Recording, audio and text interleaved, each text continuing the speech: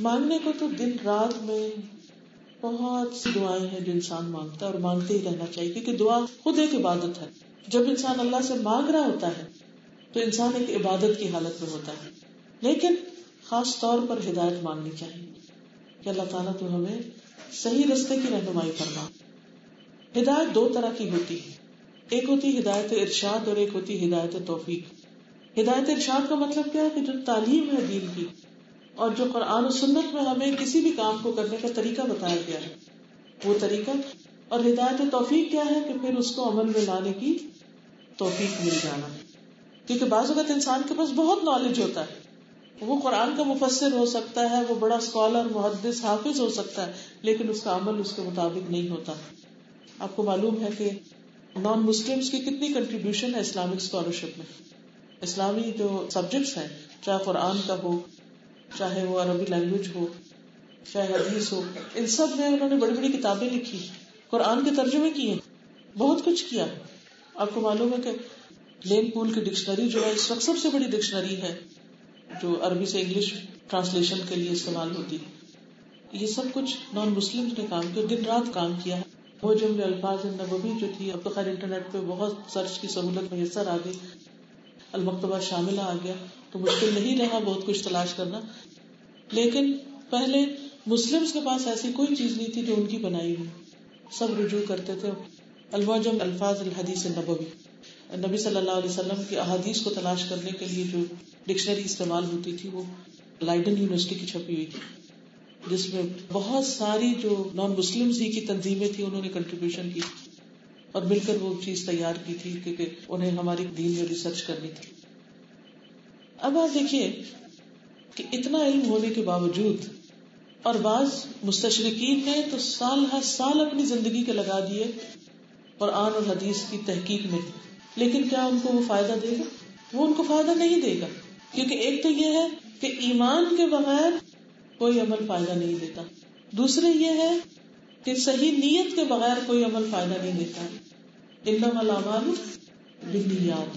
तो तीसरे ये है कि जब तक उस इल्म पर अमल ना हो, वो इल्म फ़ायदा नहीं देता।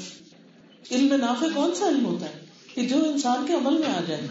हम मास्टर्स का पीएचडी और पीएचडी भी क्या? कई पीएचडी भी कर लें और दिन रात हमारा इल्म हासिल करने में गुजर रहा हो, सीखने और सिखाने में भी। हम बड़े से बड़े टीचर बन जाए। लेकिन जब तक हमारा अमल नहीं होगा, वो इल्म हमें फ़ायदा नहीं होगा, बल्कि वो इल्म बबाल बन जाएगा।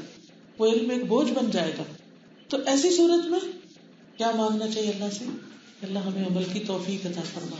तो जब हम कहते हैं एह दिन मुस्तकीम कि अल्लाह हमें सीधा रास्ता दिखा तो इसका मतलब ये है कि हमें इल्म भी दे और अमल भी अता कर। क्योंकि बगैर इल्म के अमल दुरुस्त नहीं, और बगैर अमल के इल्म का फ़ायदा नहीं, थोड़ा फ़ायदा है। और फिर सिरात मुस्तकीम की रहनुमाई करें। कौन सा सीधा रास्ता? सरात अल्लदीना अनमता रही उन लोगों का रास्ता जिन पर तूने इनाम किया। कौन है वो? इसकी वजाहत खुद पुरानी मजीद में दूसरी जगह मिलती है। मिनन नबीन व सिद्दीकीन व शहदा व सालिहीन। वो रास्ता है उन लोगों का जो अम्बिया है। सिद्दीकीन है, शहदा है और सालिहीन है।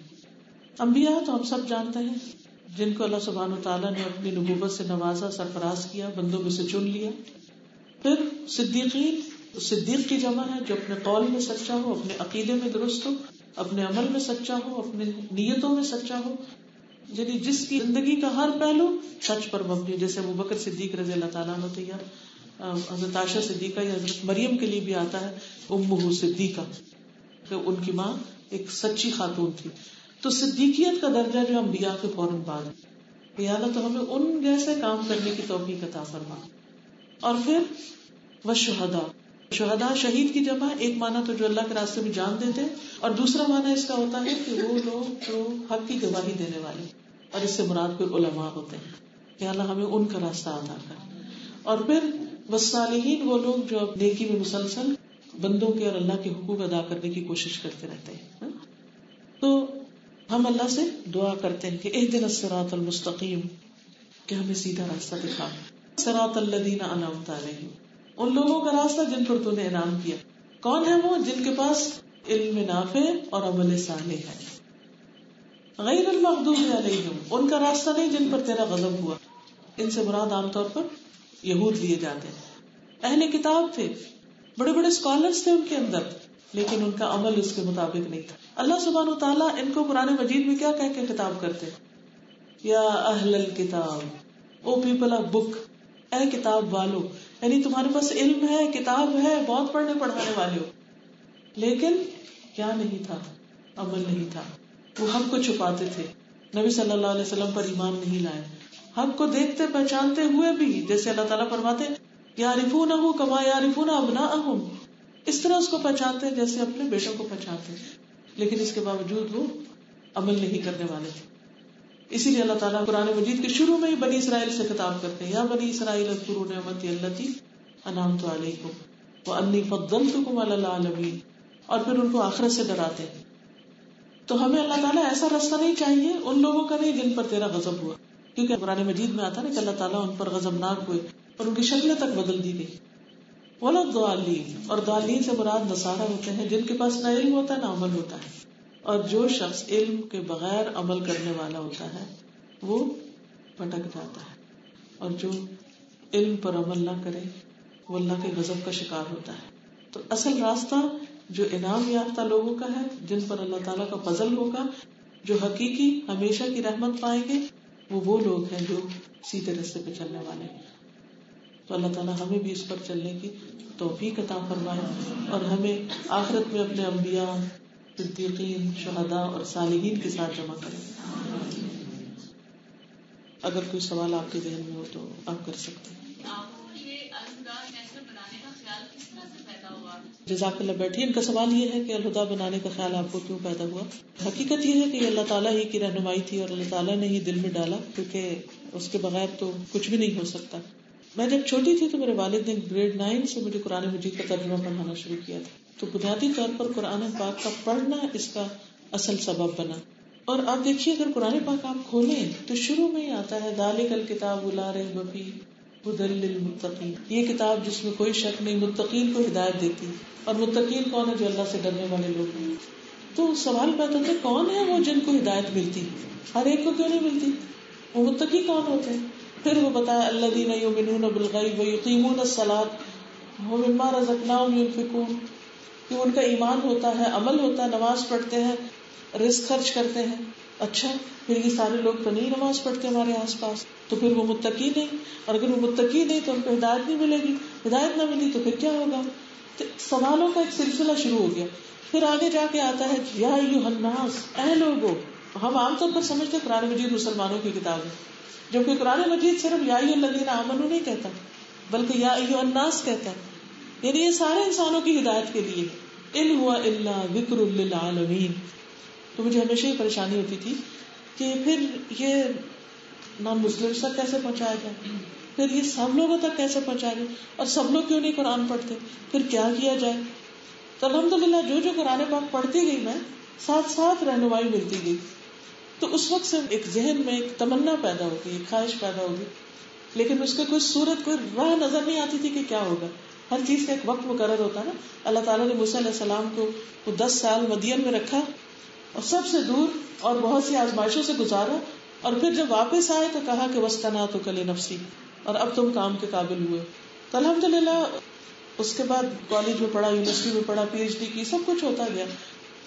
यूनिवर्सिटी में थी जब मैं तो मैं हमेशा ही सोचती थी कि सिर्फ़ इतने सारे लोग यहाँ आए जो बाहर है, उनका क्या बनेगा? फिर उसका क्या होगा? हती कि हमारे घर में जो काम करने वाली औरत आती थी, वो क्रिश्चियन थी। अब यकीन करें उसे देखती तो मुझे मेरे दिल के अंदर इतनी तकलीफ़ होती कि इसका क्या बनेगा? इसको कैसे बताया जाए? तो ये जो इंसानों की मोहब्बत, इंसानों की हमदर्दी और इंसानों की तड़प, इंसानों की आखिरत की फ़िक्र थी, इसके लिए ये काम शुरू किया और अल्हम्दुलिल्लाह अल्लाह ने उसमें बरकत डाली। और डे वन से जब अलविदा बना, जब से मेरी ख्वाहिश थी कि सिर्फ़ मेरे लिए नहीं, सिर्फ़ मेरे खानदान के लिए नहीं, सिर्फ़ मेरे शहर के लोगों के लिए नहीं, सिर्फ़ मेरे मुल्क के लोगों के लिए नहीं, बल्कि इस ज़मीन पर जो अल्लाह की ज़मीन और इस पर रहने वाली सारी मखलूक अल्लाह की है, ये उन सब के लिए है। इससे सबको फ़ायदा पहुँचना चाहिए। तो अलहमदुल्ला फिर अल्लाह ताला ने साथ साथ रहनुमाई की और रास्ते खुलते गए और बहुत सिंसियर ऐसे लोग साथी बने कि जो इस काम को आगे लेकर बढ़े और उन्होंने जान, माल, वक्त की कुर्बानियाँ की। ये सिर्फ़ मेरी कोशिश नहीं, इसमें बहुत सारे लोगों का हिस्सा अल्लाह ताला उन सबको जजाय आता है। स्पेशली यूनिवर्सिटी बच्चियों के लिए या मेडिकल कॉलेजेस या जैसे आजकल पढ़ाई का बहुत ज़्यादा जी जी बिल्कुल। फिर मेडिकल स्टडीज़ ये किस तरह करें बैलेंस लाइफ को? कितना टाइम निकालें और किस तरह इसको लेके साथ ठीक। इनका सवाल टाइम मैनेजमेंट के बारे में है कि बच्चियाँ यूनिवर्सिटी में पढ़ती हैं कॉलेजेस पढ़ती हैं और फिर उसके साथ साथ कुरान को भी पढ़ना है दीन की तालीम भी हासिल करें तो बैलेंस किस तरह करें? और फिर उसमें यह है कि आगे बढ़कर जो फिर शादी भी हो जाती है फिर शादी के बाद बच्चे हो जाते हैं फिर और मसरूफियात हो जाती है फिर अगर जॉब भी कर रहे हैं तो फिर करना क्या चाहिए? उसमें आप देखिए कि ज़िंदगी का कोई मरहला ऐसा नहीं कि जिसमें आप मसरूफ ना हो। जब बच्चे होते हैं तो और मुश्किल होती हैं, जब जवान होते हैं तो और मसाइल होते हैं। जब शादी हो जाती है तो और मसाइल शुरू पहले अपने बच्चे छोटे होते हैं, जब वो बड़े हो जाते हैं तो फिर उनकी शादी और उनके बच्चे। अब मेरी जितनी भी कोलीग्स है, जो मेरी साथी है, जिन्होंने साथ मिलकर काम शुरू किया, वो सब अभी स्टेज में आए हुए समेत मेरे कि हमारे बच्चों के बच्चे हो रहे हैं। अब क्या है? अपने बच्चे तो किसी न किसी तरह पाल के बड़े किए कि चलो हमारी ज़िम्मेदारी खत्म हुई। अब वो एक बच्चे का बच्चा है तो वहाँ जाना है, उसकी डिलीवरी है, फिर दूसरे की है, फिर तीसरे के साथ ये मसला है। अब वो घर में विज़िट करने के लिए आ रहे हैं, अब टाइम नहीं है। ये सब चलता रहेगा, आखिरी दम तक, आखिरी लम्हे तक ये मसरूफियात कम नहीं हो सकती। ये इसी तरह रहेगी। करना क्या है टाइम मैनेजमेंट करनी टाइम मैनेजमेंट सालाना एतबार भी कर सकते हैं, साल के एतबार से। कि साल का एक महीना मसला, रमज़ान का महीना, मैंने छुट्टी लेकर, उसमें मैंने हर रोज एक सिपारे का मुताला करना है। और उसके लिए फहमुल कुरान का हमारा प्रोग्राम जैसे होता है, ये इसी चीज़ को सामने रख के बनाया गया था कि तीस दिनों में पूरे कुरान का तर्जुमा लोग सुन लें। अगर पढ़ नहीं भी सकते, खुद से नहीं समझ सकते तो एक दफ़ा वो कर ले। हो गया। कम अज कम एक दफ़ा पूरे कुरान से गुजर के, अल्हम्दुलिल्लाह। फिर दिल चाहता है कि और करे। अब आप क्या कर सकते हैं कि अपना मंथली स्केड्यूल बना सकते हैं, या वीकली बना सकते हैं। वीकली स्केड्यूल में क्या है कि जैसे छुट्टी का एक दिन है तो छुट्टी के एक दिन में एक घंटा आप कुरान के लिए वक्त कर दे, उस टाइम को ब्लॉक कर दे। और कुछ नहीं करना, ये मेरी कुरान क्लास का वक्त है। जैसे मैं यूनिवर्सिटी में थी पीएचडी कर रही थी तो बहुत काम था, और मेरे पास वक्त नहीं होता था तो मैंने हफ़्ते में एक दिन एक घंटा मुकर किया था, जिसमें मैं अपने वहाँ ग्लासको की जो मस्जिद थी, उसमें जाकर मैं कुरान मजीद का दर्ज देती थी। और उसका मकसद यही था कि मैं खुद भी कुरान से जुड़ी रहूँगी और औरों को भी अपनी जात से फ़ायदा पहुंचाऊँगी। और उस एक दिन के एक घंटे में अल्लाह ने इतनी बरकत डाली नहीं। सात दिन बाकी सारा वक्त हत्या कि ईद के दिन भी हम ईद की नमाज़ पढ़ के यूनिवर्सिटी चले जाते थे, क्योंकि यूनिवर्सिटी खुली होती थी वहाँ तो काम शुरू कर देते थे वापस। लेकिन इस एक घंटे में इतनी बरकत हुई कि अल्हम्दुलिल्लाह बेशुमार लोगों ने इससे फ़ायदा उठाया। आप लोग भी हर हफ़्ते के एक घंटा या दो घंटा कुरानिक लेसन के लिए फिक्स कर लें और उसका बेहतर तरीका ये कि ग्रुप स्टडी करें, मिल बैठकर अगर आपको कोई टीचर मिल जाए तो बहुत अच्छा। अगर नहीं मिले तो इंटरनेट पर सारी तफसीर के लेसन मौजूद हैं। और अब तो अलहमदिल्ला स्मार्टफ़ोन जो है एंड्रॉइड जो है या आईफोन वगैरह, इनके ऊपर एप्लीकेशन है कुरान फॉर ऑल के नाम से। और उसको आप खोलें तो तफसीर, तजवीज, सारे लेसन उसमें मौजूद होते हैं। आप बैठे हॉस्टल में है, घर में है ट्रेवल कर रहे हैं, अपना टाइम एक फिक्स किया हुआ है। उस टाइम पर आप अपना मोबाइल ऑन करें क्लिक करें अपना लेसन और अपने कुरान मजीद का सिपारा साथ रखें और अपने डिटेल्ड कुरान मजीद की तफसीर आप सुनते जाए फिर अगर आपको वक्त मिले तो आप ये भी कर सकते हैं, जैसे हमारे साल के कोर्सेज होते हैं। एक साल की ब्रेक लेकर आप अपने आप को पूरा एक साल के लिए वक्त करके पूरी तालीम हासिल कर लें और उसके बाद दोबारा अपनी स्कूल यूनिवर्सिटी शुरू कर लें। इसका आइडिया मुझे कहाँ से आया? जब मैं बाहर ही थी तो मुझे बताया गया कि ज्यूज ये करते हैं कि वो अपने बच्चों को ए लेवल्स के बाद एक खास वक्त के लिए यूनिवर्सिटी जाने से पहले अपनी रिलीजियस तालीम दे देते हैं, ताकि वो अपने दीन को जान लें। अब इसी वजह से आप देखें कि कितनी छोटी कम्युनिटी है उनकी, लेकिन कितने उनके अंदर जो यूनिटी है, जो उनके मकासद है, उनके लिए कितने आपस में वेल कनेक्टेड है। कोई एक रीजन तो होनी चाहिए ना इतिहाद इतफाक की? हमारे लिए हम सब मुसलमान किस चीज़ पे इकट्ठे हो सकते हैं? एक चीज़, और वो कुरान है। तो अगर हम सब सारे बायसेस छोड़ के कुरान के ऊपर आ जाए तो इनशाला हमारे इन्हीं स्टडीज़ के साथ साथ टाइम मैनेजमेंट के साथ हम कुरान मजीद को अपनी जवानी में ही पढ़ सकते हैं। पढ़ना तो हर उम्र में चाहिए, लेकिन जवानी इसलिए बेहतर है क्योंकि इंसान जितना अर्ली स्टार्ट करेगा उतना उसको ज़्यादा याद रहेगा, उतना ज़्यादा लंबे अरसे तक अमल कर सकेगा। क्यामत के दिन जब कितना सख्त दिन होगा, सूरज नज़दीक आ चुका होगा और हर शख्स पसीने में डूबा हुआ होगा और कोई साया ना होगा अल्लाह के अर्श के सिवा तो उस वक्त सात लोगों को अर्श के नीचे जगह दी जाएगी। उनमें से एक वो होगा जिसने अपनी जवानी में रब की इबादत की। जिसने जवानी में अल्लाह की इबादत की। तो आप माशाल्लाह सब इस वक्त हाल भरा हुआ जवान लोगों से आप सबको मैं ये कहूँगी कि इंतज़ार न कीजिए कि अच्छा बूढ़े होंगे और सारे काम हो जाएँगे स्टडीज़ हो जाएँगी जॉब्स हो जाएँगी, शादियाँ हो जाएँगी, बच्चों के फिर हम अल्लाह के लिए वक्त निकालेंगे। रिटायरमेंट के बाद अक्सर लोग क्या करते हैं? वो कहते जब रिटायर हो गए ना तो फिर ये कोर्स करेंगे। या फिर ये चीज़ पढ़ेंगे। नहीं, अभी से शुरू कर ले। जितना हो सकता है। क्योंकि जब हमने शुरू कर लिया, इरादा कर लिया, पूरा नहीं भी होगा तो अल्लाह सुबहान ताला हमें उन लोगों में से उठाएँगे जो उसके दीन को समझने वाले होंगे। क्योंकि आता ना, जैसे कोई शख्स हाजिर उम्र के सफ़र पर निकला, रास्ते में उसकी वफात हो गई तो क्यामत के दिन वो किसमें से उठाया जाएगा? वो तलबिया पढ़ते हुए उठाया जाएगा। वो हाज उम्र का सवाब पूरा उसको मिल चुका होगा। तो आप भी सफ़र शुरू कर लीजिए, चाहे आप हिफ्स करना चाहते हैं, या आप तर्जमा तफसील से पढ़ना चाहते हैं, या दीन जिस तरह भी सीखना चाहते हैं तो इनशाला अगर पूरा हो गया तो ठीक, नहीं भी हुआ तो अल्लाह ताला के यहाँ पूरे लिखे जाएँगे। हम अपने वालदेन को किस तरह चलाएँ उनको हम कहते हैं, अगर पढ़े तो वो कहते हैं, हमने जी जी, कोई बात नहीं। किसी वक्त जब वो आपसे बहुत हमदर्दी, प्यार और इन्हीं वक्त होते हैं ना, बड़े हो जाते हैं ना जब वालदेन, कभी जिद में आ जाते हैं, कभी वो एक्सेप्ट नहीं करते बात को सोचते हैं, छोटे हैं, हमें क्या बता रहे हैं? तो ऐसी सूरत में कोई ऐसा वक्त देखिए कि जिसमें थोड़ी सी भी बात सुनने के लायक है। तो बहस और आर्ग्यूमेंट ये बगैर रहने के कि ये मैं आपको ना थोड़ी सी आयतें सुनाना चाहती हूँ। अच्छी आवाज़ में उनको तिलावत करके सुनाए, फिर उसका तर्जमा सुनाए। अरबी की एक सही है शौक। जौक शौक पैदा करता है। यानी जायका जो होता है ना किसी चीज़ का, उससे फिर खाने की तलब पैदा हो जाती है। जब कुरान मजीद ऐसी खूबसूरत चीज़ है कि जिसको अगर आप थोड़ा सा चख ले ना तो फिर आप रह नहीं सकते उसको पढ़े बगैर। सूरत अल वाक़ इतनी खूबसूरत सूरत है। आप उसको रवा तर्जमा पढ़ के सुना दें। सूरत काफ सूरत अल कोई भी सूरत आप उठाएँ और उनको पढ़ के सुनाएँ, उसका तर्जुमा तो इनशाला आस्ता आस्ता उनके दिल इसकी तरफ़ माइल होंगे और दुआ भी करें। जी।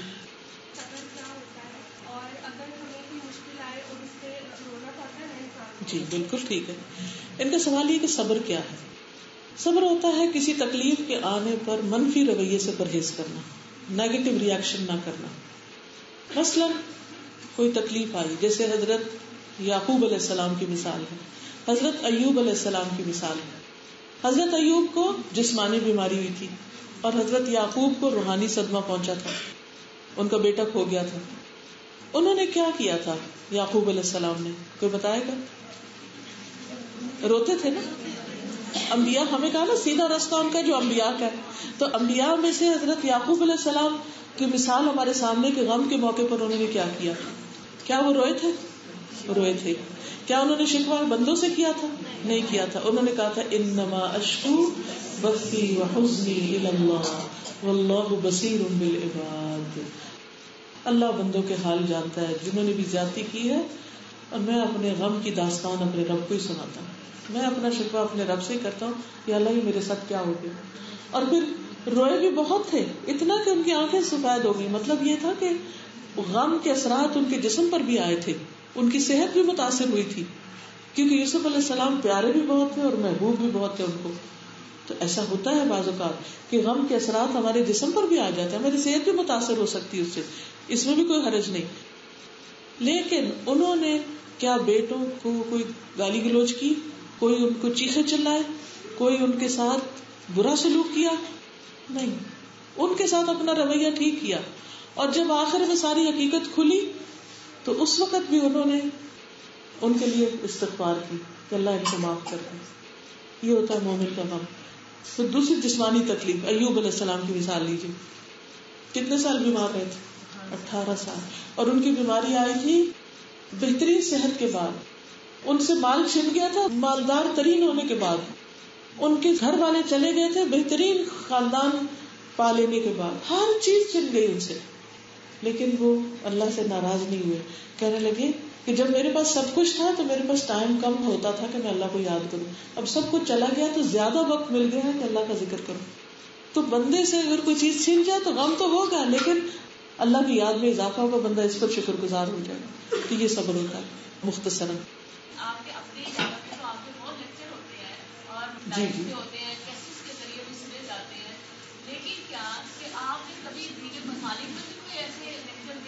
ना कोई गैर मुस्लिम जैसे कि आपके घर में एक आया काम करती थी वो क्रिश्चियन थी तो कोई अल्हम्दुलिल्लाह ऐसे कई लोग मुसलमान भी हुए हैं।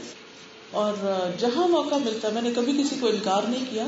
जब मौका मिले जैसे यहाँ तो मैं हाजिर हो गई हूँ। बस डिपेंड करता है कि वक्त कैसा है क्योंकि एक के बाद एक मसरूफियत होती है। इनका सवाल ये है कि अगर हमें कोई गम या दुख मिलता है तो किसी से शेयर कर सकते हैं? कर सकते हैं, लेकिन लिमिट के अंदर। क्योंकि ये आदत नहीं बन जानी चाहिए कि जो मिले उसको अपनी दास्तान सुनानी शुरू करें बाज लोगों की आदत ये होती है कि अगर उनको थोड़ी सी भी तकलीफ़ हो, बस हाथ पे चोट लगी तो जो सामने के देखो मैं चोट लगी, वो गया एक और है फिर देखो चोट लगी। यानी अटेंशन सीकर नहीं होना चाहिए। सिर्फ़ उससे मसला बयान करें जो आपको कोई हल बताता है। ठीक है? जी हाँ। जी जी। ऐसे ही बहुत सी जगहों में जब बड़ा बंदा असर ले रहा होता है और भूल रहा होता है कि बहुत सच्चे दिल से होगा। तो हूँ ठीक है। हूँ, बिल्कुल ठीक कहा आपने।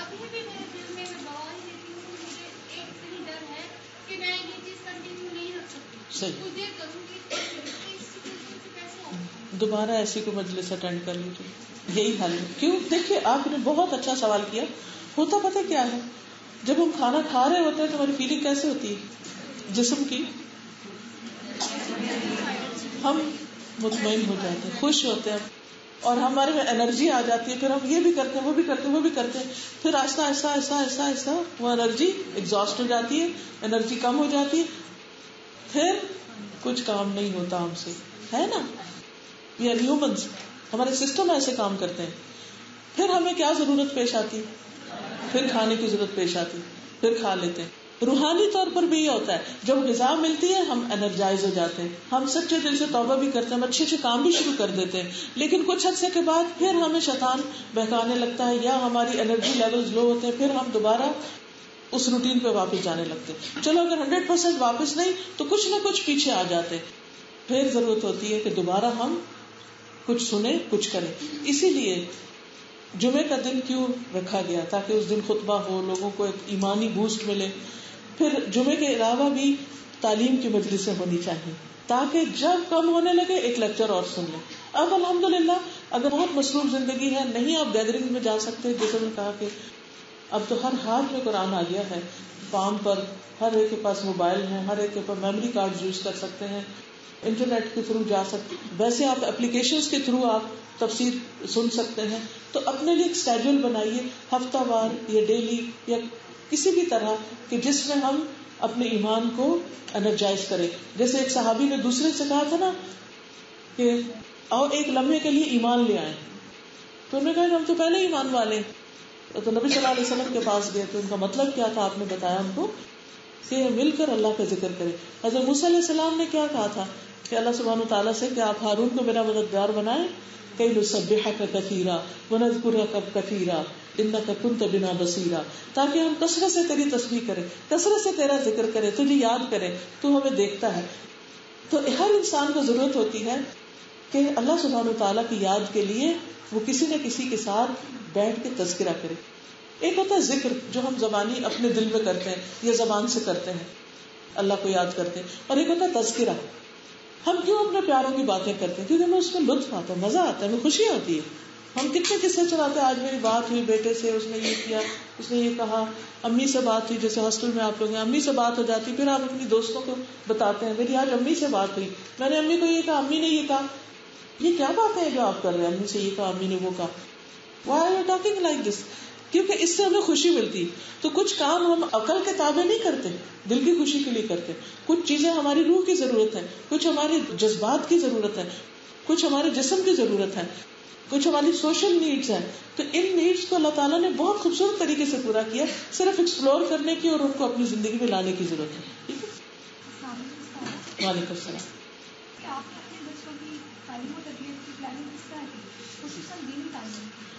जी।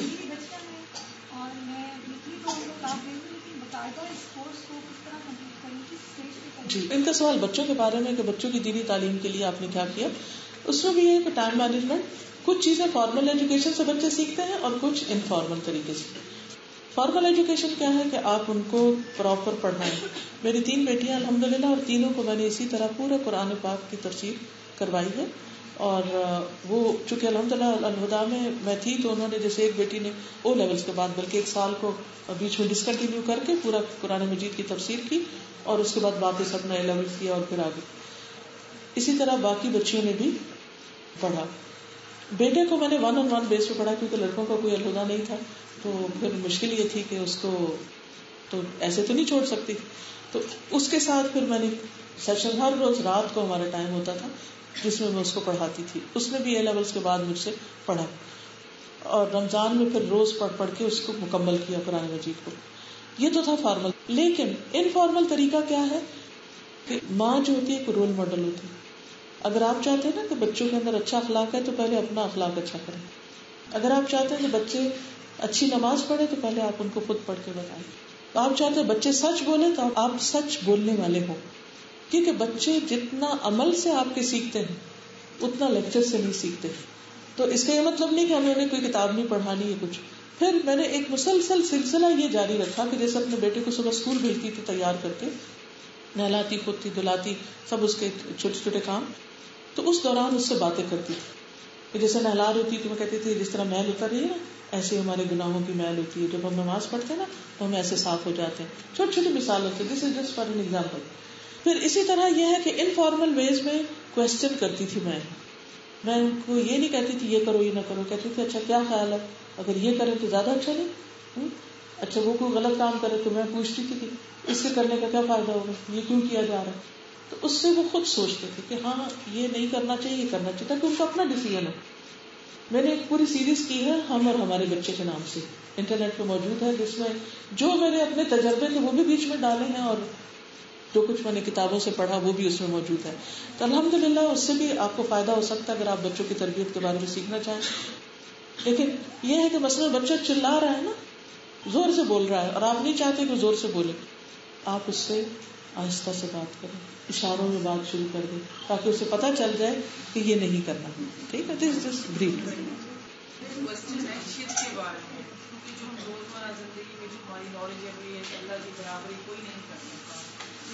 प्रैक्टिकल ज़िंदगी में देखते तो कुछ ऐसे छोटे मोटे हो जाते हैं जैसे इनका सवाल ये है कि हमें पता है शिरक नहीं करना, लेकिन बाजू की ज़िंदगी में कुछ ऐसी चीज़ होती है जिसमें हम मशकूक रहते हैं कि ये शिरक है या नहीं है उस पर परेशानी होती है। तो उसके लिए आप देखिए कि जब ग्रे एरिया होता है या जहाँ कहीं एक कंफ्यूजन आती है तो वहाँ मजीद उसके बारे में इल्म हासिल कर लेना चाहिए। बस अलू अहल ज़िक्र इनकुन तुम ला तालम इल्म वालों से पूछो अगर तुम नहीं जानते। और उसके लिए आजकल मैंने तीन दफ़ा एक किताब पढ़ाई है, इमाम इब्न तैमिया की किताब है अलकीदतुलवासितिया वो अल्लाह सुबहान तला के असमा सिफात के बारे में बेहतरीन उसमें इंफॉर्मेशन मिलती है, आखरत के बारे में, तकदीर के बारे में।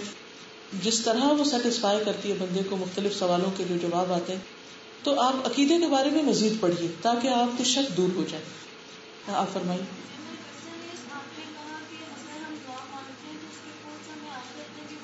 जी।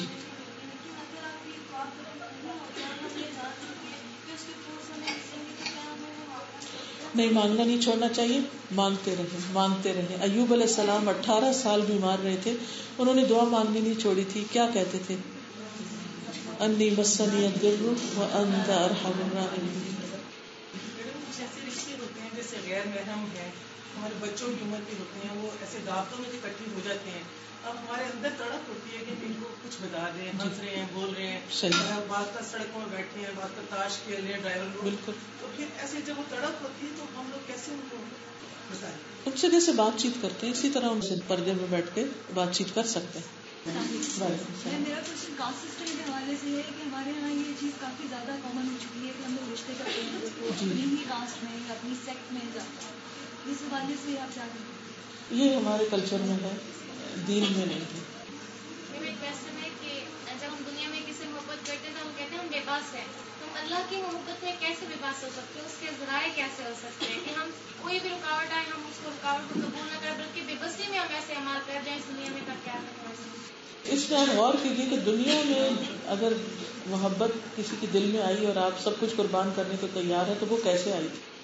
उसकी कोई खूबी देखकर कोई वजह थी? है? कोई अदा उसकी पसंद आ गई या कोई भी रीजन थी। तो इसी तरह अल्लाह की मोहब्बत के लिए एक तो अल्लाह की किताब का पढ़ना बहुत फ़ायदा देता है। मुझे हकीकी मानो में अल्लाह की मोहब्बत नसीब हुई है कुरान के ज़रिए। इसी तरह कायनात में गौर फ़िक्र। कि जब इंसान इस एंगल से देखता है कि अल्लाह की बनाई हुई चीज़ें तो उसकी अकल जब हैरान होती है तो खुद बहुत वो अल्लाह ताला की तरफ़ अट्रैक्ट होता है। फिर दुआ, कि अल्लाह अपनी मोहब्बत का रिस्क दे दे हमें। ये रिस्क है जिसको अल्लाह ताला चाहे अता करता है। तो आप इस मोहब्बत को मांगिए ठीक है? हूँ है हूँ? नहीं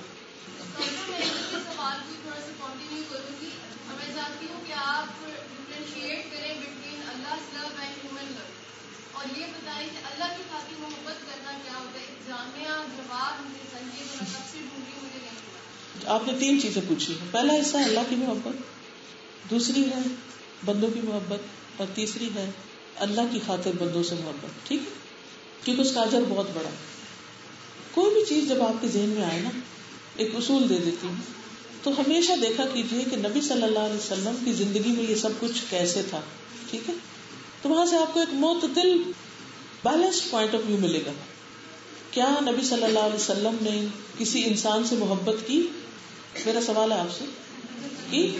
किससे की? हज़रत खदीजा से, हज़रत आयशा से, हज़रत अबू बकर सिद्दीक से? बहुत से लोगों से। बल्कि सहाबा ये कहते हैं कि हम में से हर एक को ये लगता था कि आप सबसे ज़्यादा हमसे मोहब्बत करते हज़रत खदीजा की वफात के बाद क्या वो मोहब्बत खत्म हो गई? आपने फरमाया था, कद रुजिक तो बहा मुझे उसकी मोहब्बत का रिस्क मिला। और जब उनकी बहन आती, उनकी आवाज़ उससे मिलती होती थी हज़रत खदीजा से तो वो एकदम हज़रत खदीजा को याद करते थे। फिर जब कोई भी बकरी जबा करते तो हज़रत खदीजा की सहेलियों को गोश्त भेजते थे कि ये खदीजा से मोहब्बत करती थी। तो खदीजा की मोहब्बत की वजह से उनकी सहेलियों का ख्याल रखना। फिर बच्चों से मोहब्बत करते थे आप? हज़रत हसन हुसैन से की ना आपने? फिर आप देखिए कि बाकी लोगों से भी की। अच्छा। लेकिन अजवाज मुतहरात क्या कहती हैं? कि जब आप घर में होते थे तो हमसे हँसी मज़ाक कर रहे होते थे, खुशबाश बातचीत कर रहे होते थे, लेकिन जो ही आजान होती तो हमसे अजनबी हो जाते थे। क्योंकि अल्लाह की मोहब्बत इन सारी मोहब्बतों पर गालिब है। अब अल्लाह ताला की मोहब्बत कैसी होती? है मोहब्बत असल में लाती क्या दिल में अल्लाह की याद लाती है। अल्लाह से मोहब्बत क्या है अल्लाह का ज़िक्र, याद या ध्यान उधर रहता है। जिससे मोहब्बत होती है, हमारा ध्यान उधर लग जाता है, या नहीं? बार बार उसी का ख्याल आता रहता है। माँ को अपने बच्चे से मोहब्बत होती है, हर माँ ने एक्सपीरियंस किया होगा कि फिर उसका ध्यान उधर ही लगा रहता है। मेरा बच्चा, पता नहीं उसे खाया कि नहीं, पता नहीं ये हुआ कि पता नहीं आया कि नहीं, पता नहीं क्या कर रहा कहीं भी बैठी हो, ध्यान वही लगा हुआ ये मोहब्बत होती है। तो अल्लाह ताला की मोहब्बत दरअसल हमें अल्लाह ताला की याद दिलाती रहती है। अल्लाह को याद करते हैं तो अल्लाह ताला हमें याद करते हैं। फल कुरूनी वशकुरूली वला तक इसमें भी आप देखिए, अल्लाह से मोहब्बत के बारे में भी देखिए। क्या नबी सल्लल्लाहु अलैहि वसल्लम को अल्लाह ताला से मोहब्बत थी? फिर वो क्या करते थे उस मोहब्बत में? क्या मोहब्बत इंसान को ज़्यादा काम करने पे आमादा करती है बेकार कर देती है? जो मोहब्बत आपको अच्छे काम पर लगा दे, वो मोहब्बत अच्छी है। और जो मोहब्बत आपको बेकार कर दे और आप इम्तिहान में भी फेल हो जाए उस मोहब्बत की वजह से। जॉब भी ना मिले आपको उस मोहब्बत के पीछे लग के कि हर वक्त आप सिर्फ़ टेक्स्ट कर रहे हैं और बातें कर रहे हैं और अपने ख्यालों में हुए हैं कि जाते टकरे मार रहे हैं कि आप दीवाने हो चुके हैं तो वो मोहब्बत नुकसान दे। तो इंसानों की मोहब्बत, जो जायज़ मोहब्बत है, जैसे बीवी की मोहब्बत, हदूद के अंदर रहते हुए, शादी से पहले मोहब्बत नहीं, शादी के बाद मोहब्बत, निकाह वाली मोहब्बत, हलाल मोहब्बत, इससे मना नहीं किया गया। ये ज़िंदगी में खुशी पैदा कर देती है और ज़िंदगी को बहुत आसान कर देती है।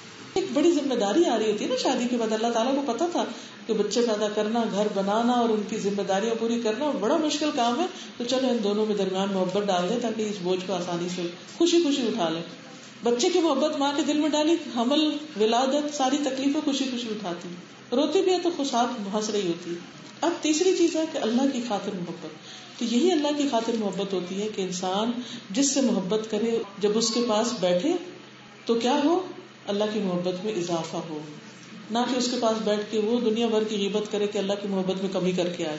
कहने को क्या कहे कि मैं अल्लाह की खातिर उससे मोहब्बत करता? नहीं, ये झूठी मोहब्बत है। अल्लाह की खातिर मोहब्बत वो होती है जो अल्लाह की मोहब्बत में इजाफा कर देती है। जी।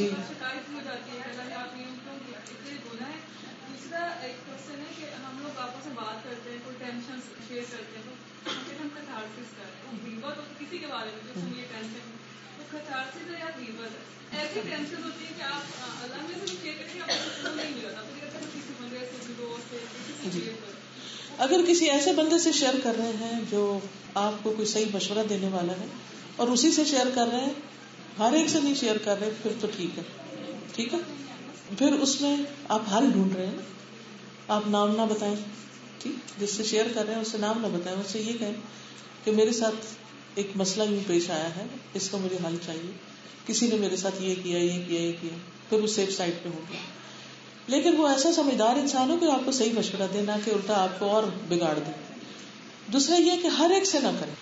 क्योंकि जब हमें किसी शिकवा तो बाज लोग मजलिस में बैठ के बड़ी मजलिस में दूसरों के खिलाफ बातें शुरू कर देते और अपने अमल जाया कर देते और नहीं किसी को कुछ मिलता तो हुक्मरानों के खिलाफ दुनिया भर की पॉलिटिक्स डिस्कस कर करके उनका मज़ाक उड़ाने लगते तो इससे भी बचना चाहिए। मोस्टली ये सुना गया है और ये होता है कि हम ये कहते हैं कि हर चीज़ प्री डिफाइन है कि अल्लाह ताला ने किसी की किस्मत या तकदीर जो है वो लिख दी है, या जैसे हमारी मतलब कि इस्लाम में भी बहुत से बात कहते हैं, जैसे कि एक सहाबी थे तो वो एक गजवा में जो है वो बहुत अच्छी तरीके से फाइट कर रहे थे और वो मतलब से तुमने फरमाया कि ये शहीद नहीं होंगे तो मतलब कि ये जहन्नम में जाएँगे या ये वो। तो मतलब वो अपनी तरफ़ से पूरी फाइट कर रहे थे और आखिर फाइट कर करके वो शहीद नहीं हुए और वो फिर उन्होंने एक तरह से खुदकशी मतलब करी तो मतलब ये क्या है कि मतलब एक बंदा वो कोशिश कर रहा है हमारे हाथ में फिर क्या है कि अगर हर चीज़ पहले से प्री डिफाइन तो। उसमें आप देखिए कि तकदीर जो है वो अल्लाह ताला का इल्म है। अल्लाह ताला ने इंसानों की तकलीफ़ से पचास हज़ार साल पहले कलम पैदा की और उसे कहा कि लिखो और उसने पूछा क्या लिखो? पर मैं जो क्यामत तक होने वाला है वो सब लिख दो। ये अल्लाह ताला का इल्म था। मेरा सवाल ये कि क्या अल्लाह को इल्म होना चाहिए या नहीं होना चाहिए? होना चाहिए ना। उसका ये इल्म जाती होना चाहिए, दूसरों से लिया हुआ होना चाहिए। जाती हो क्योंकि वो इलाह है, वो रब है, वो मबूद है। इसके बगैर वो हो नहीं सकता। अगर वो किसी से इल्म हासिल करता है तो इसका मतलब उस पर डिपेंडेंट है। दूसरी बात ये जाननी चाहिए कि तकदीर अल्लाह का राज है, उसको पता है, किसी और को नहीं पता क्या होने वाला है। अल्लाह कि किसी को बता दे, जैसे नबी सल्लल्लाहु अलैहि वसल्लम को कुछ चीज़ें बताई वही के ज़रिए। आता है ना कुरान मजीद में कि गैब का इल्म अल्लाह के पास है और उनकी कुंजियाँ अल्लाह ही को पता है, किसी और को नहीं पता। ये सारे लौह महफूज में हर चीज़ लिखी हुई। ये अल्लाह ताला का कंप्लीट नॉलेज है कि आज से एंड तक क्या होने वाला है। क्या होने वाला है? क्योंकि हर चीज़ उसी की बनाई हुई प्लानिंग भी उसी की है, चीज़ें क्रिएट भी उसी ने की है, सब कुछ तो उसको ये पता था कि ये चीज़ें कैसे काम करेगी। कौन सी चीज़ कहाँ रखी जाएगी तो क्या उसका रिएक्शन होगा? मसलन, अगर आप पानी के अंदर मीठा डालें तो पानी क्या होगा? मीठा। और नमक डालें तो? अच्छा। हमें कैसे ये पता चलता है? तजर्बा करके। अल्लाह को कैसे पता चलता है? पहले से पता है। कि ये नमक और ये नमकीन है और ये मीठा और ये मीठा है। तो ये अल्लाह ताला का अल इल्मुल असाबिक यानी तकदीर के अल्लाह का? वो इल्म जो काम के होने से पहले ही उसके इल्म में है। क्यों इल्म में है उसके? क्योंकि उसको पता था कि कौन सी चीज़ कैसे उसको जब कुछ मिलेगा तो क्या करेगा। कौन सा इंसान अपनी ख्वाहिश पर काबू पा लेगा? कौन सा अपनी नीयत काबू नहीं पा सकेगा? वो जो शख्स नहीं, शहीद होने वाला था, अल्लाह को पहले पता था, जो प्रॉफिट को बता दिया गया, कि इस शख्स की नीयत दुरुस्त नहीं। या ये शख्स काम सही तरीके पर नहीं कर रहा। दूसरी बात ये, एक है बंदे का इरादा, एक अल्लाह का इरादा। जब ये दोनों मिलते हैं तो काम होता है। फिर यह है कि अल्लाह ताला ने बंदों को इख्तियार दिया है।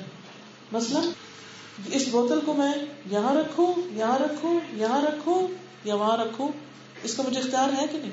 और फिर हमें टेस्ट में डाला गया है कि ये बोतल तुम्हें दी जा रही है, इसका सही इस्तेमाल करना, इसे लोगों को नहीं फेंकना अगर अपने पास रखोगे तो कोई हर्ज नहीं। और अगर लोगों पे फेंका तो पकड़ क्योंकि अल्लाह ताला ने हमें मजबूर नहीं पैदा किया। लेकिन ये इख्तियार लिमिटेड है। कितना? कि मसलन यहाँ तक अगर बोतल है तो यहाँ से तो पकड़ सकते हैं, वहाँ है तो फिर मेरे हाथ की रीच से बाहर है, वहाँ तक मुझे जाने के लिए कोशिश करनी पड़ेगी। अल्लाह ताला ने हमें इख्तियार दिया है, इसीलिए मैं इस वक्त बोल रही हूँ। अगर इख्तियार ना होता तो मैं बोल नहीं सकती। थी ओके? अब ये जो इख्तियार हमें दिया गया है, इसका सही इस्तेमाल हमारा टेस्ट है। जिन चीज़ों के बारे में हमारा इख्तियार ही नहीं, उनके बारे में हमारी पूछ ही नहीं। फिर ये इख्तियार अनलिमिटेड नहीं, अगर अनलिमिटेड हो तो हम खुदा होते अनलिमिटेड सिर्फ़ अल्लाह का और लिमिटेड बंदों का है। फिर उसके बाद एक और चीज़ याद रखिए, अल्लाह अपने बंदों पर जालिम है या मेहरबान? मेहरबान। वो किसी पर जुल्म नहीं करता। ठीक है? उसने किसी पर जुल्म नहीं किया। क्या वो चाहता है कि बंदे जुल्म करें एक दूसरे पर? अल्लाह ताला फरमाया कि अल्लाह ने अपने ऊपर जुल्म हराम किया और आपस में तुम्हारे दरमियान भी हराम किया, तुम एक दूसरे पर जुल्म ना करो। तो अल्लाह ताला का इल्म होने का मतलब ये नहीं कि अल्लाह ने हमें गलत कामों पर मजबूर किया। ठीक है? इस पर अगर आप डिटेल पढ़ना चाहें तो मेरे अकीदा वास्तिया के लेक्चर्स तकदीर के ऊपर जो मैंने इसमें बताया है, अगर आप उसको तफसील से पढ़ लें तो इनशाला शाफी काफ़ी बात होगी मैम जब कोई लड़की घर से बाहर निकले तो वो किस हद तक कवर्ड हो यानी कि पुराना बीस का जैसे आप हैं। मेरा लेक्चर है पर्दा क्यों ज़रूरी है? वो सुन लीजिए इंशाल्लाह सारे दलाल का जवाब है। आप कहते हैं ना अगर बच्चा ऊँचा बोले आप तेजा धीमा कर लें या दूँगा। अगर मियाँ चलाए तो फिर क्या करना फिर भी आहिस्ता कर लेना चाहिए। वाखिर दावाना अल्हम्दुलिल्लाह रब्बिल आलमीन। सुब्हानक अल्लाहुम्मा व बिहम्दिका अशहदु अन ला इलाहा इल्ला अंता अस्तगफिरुका व अतूबु इलैक। अस्सलामु अलैकुम